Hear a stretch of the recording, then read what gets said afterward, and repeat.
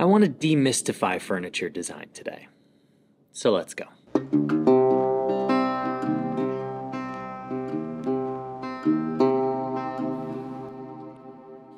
First and foremost, yes, I'm still in LA, so we are going to work around what's happening out here. But folks were rather upset last week that there was no coffee situation, no face mug to be had, so I remedied that situation. Now, yeah, you maybe got into a few illicit substances, but we're not gonna have a conversation about that because this is a family channel. Regardless, my friend Mike Coffee, a tremendous furniture maker out here in the state of California, makes these mugs coffee with coffee, but let's be real. It should be coffee with Curtis. That's where we're at. This is the standard mug for the time being.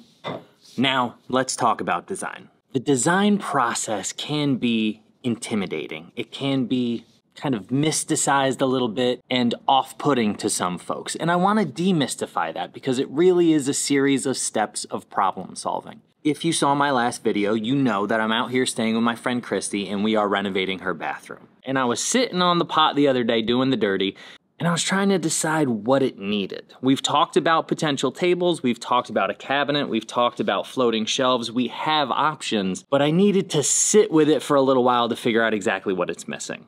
Last time we made some shelves in a mirror out of some reclaimed live edge timbers and now we're going to do some shelves and or a cabinet around the sink vanity. Now, while Christy isn't technically a client in that she's not paying me to do this work, the process that I'm about to go through with you in real time is very much the same process that I would do with a client. And I want to be as transparent as I can in this process so that you guys feel less intimidated when designing your next piece of furniture. So without any further ado, let's talk about the design process.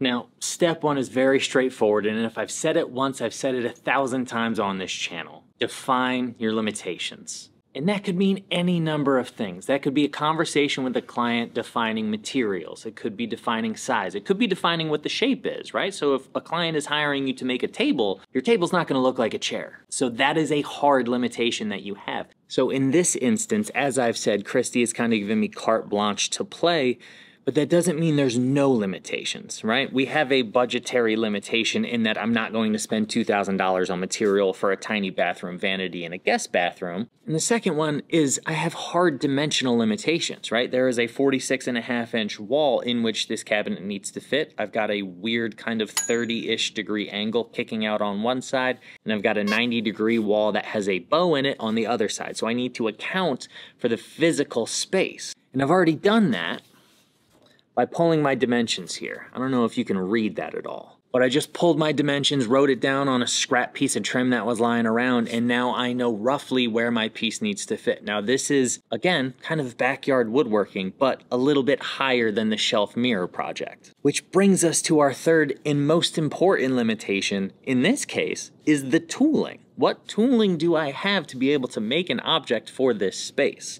If I design this crazy, curved, organic, beautiful object and then I don't have the tooling to create it, well, I've just shot myself in the foot. There's no way I can actually fabricate that. So as I'm going through this design process, I'm keeping in mind what tooling I have available to me in Christie's shed so that I can actually make the thing a reality. So, with our hard limitations in place, the next step is visual research.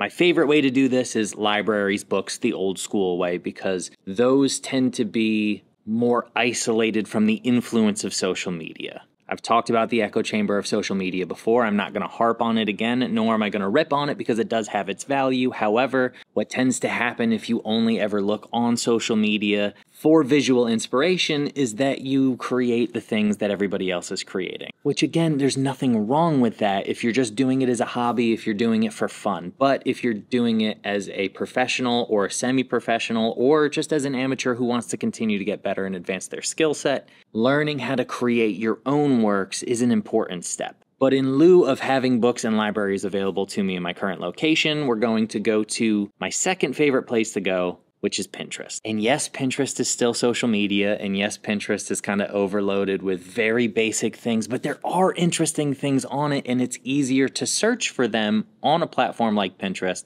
than it is on Instagram, YouTube, Facebook, etc. So let's dive in. So the first thing I'm going to do when I get to this website is go up to the search bar and start punching in keywords that have something to do with what I'm looking for. So in this case, I'm just to go with bathroom cabinet. Let's see what comes up. Okay, scroll through a little bit till I see anything that kind of strikes my fancy that is roughly what I'm looking for.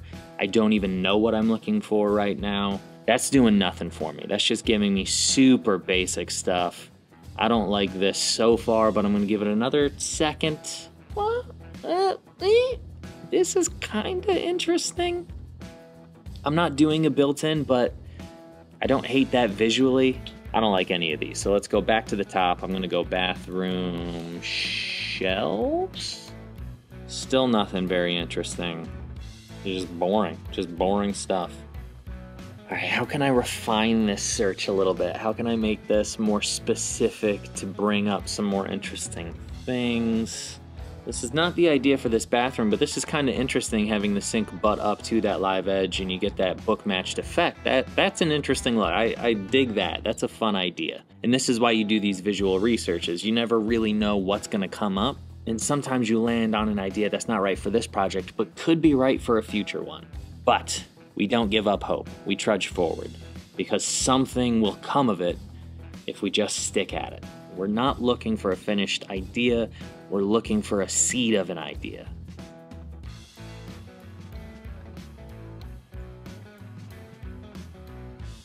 Okay, okay. Now, this is interesting. This is not good, I don't think. I shouldn't say that. I don't mean that as a value judgment. This is not my aesthetic. This is not, I think, a refined design. I think this is very rough. I think it's intentionally rough but it's the seed of an idea that I'm looking for. So that could be something. It could be something. I don't know how that terminates into a wall that's at an angle just yet on that left hand side, but that goes somewhere. So I think maybe now is the time to take that idea and play with it a little bit. See if I can't come up with something interesting.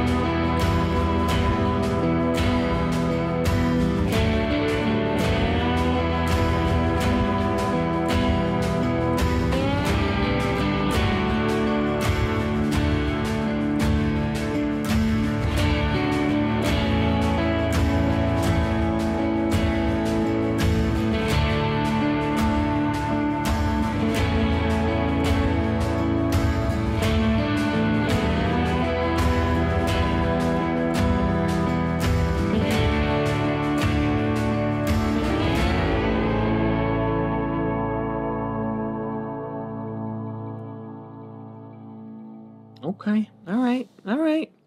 You know what? Look, is it perfect? No. Will it function? Yes. This is the skeleton of an idea. Do I think I could make this interesting by adding details, by being very particular about the grain selection? Yeah, I think there is room to play here to make this piece more interesting from a skeletal perspective. I think this is the start of a thing. Which brings me to my third step just start already. At some point, you have to get past critiquing your own design and just start fabricating the thing. Don't be afraid to make a thing that's perfectly average. Do I think this piece is going to be world beating gallery worthy? Absolutely not. It's a bathroom cabinet, and that's okay. It doesn't have to be the best thing you ever made every time you make a thing. Now, understanding I'm going to be making this piece in a shed. I've got a Ryobi chop saw, I've got a contractor saw, I've got a lunchbox planer, and I've got a wall full of green tools. I'm going to be limited. So if I were again to design this piece to be a gallery piece, I would only make myself miserable. You have to work within the limitations that you have. And I think the piece that I have an outline for could very well be made in this space. So don't get stuck, don't get caught up in this, well, the design isn't good enough yet. it's in my experience, I've never had a design where I was like, oh, this is to be incredible. Concept and reality are inherently different. So, step three, just start making the bloody thing. Now, I'm going to do the build in a separate video because I still need to go get materials for this, which I think could be an interesting video in and of itself. But I do want to touch on step four because it's vitally important. And step four is do not build and critique at the same time. Critique is helpful. Critique is important. Being able to objectively step back and observe your work, figuring out what's working and what's not working, that is a valuable skill set to develop. However, the creative process and the critiquing process are separate processes. So, step four create, don't critique. Now, often when I'm working for a client, I give these ideas time to percolate, to grow, space in which to develop, which I'm not going to do here because of the limitations that we have. But I do just want to acknowledge that is a part of my process under most circumstances. In this case, we're going to trudge forward and we're going to figure it out as we go, which brings me to the last point about my process, which is I only go so far as to give myself a direction, a path, a way to move forward. I create a skeleton on which I can add all of the details as I'm creating. That's how I find I make my best work. You may be different. You may want to have all of the details in place, and that's totally fine. But I would encourage you to make some decisions on the fly next time you make an object. Change an edge detail, change a corner, round over a corner, make a corner sharp. Figure out how you can manipulate the grain in order to create an effect play with something and take an aesthetic risk in that regard, and that may open you up to more down the road. But that's just me being a teacher. For right now, I need to go to a lumberyard and get material for this. So let me know if you want me to make that video in the comments below. And friends, until next time, I appreciate you being here, and I hope that you get a chance to get in the shop and go make a thing and go enjoy the process as you do it. Oh, and thanks to Mike Coffee for being a sponsor of this video, if only spiritually. He's a good man, maybe go check him out. And until next time, friends, cheers.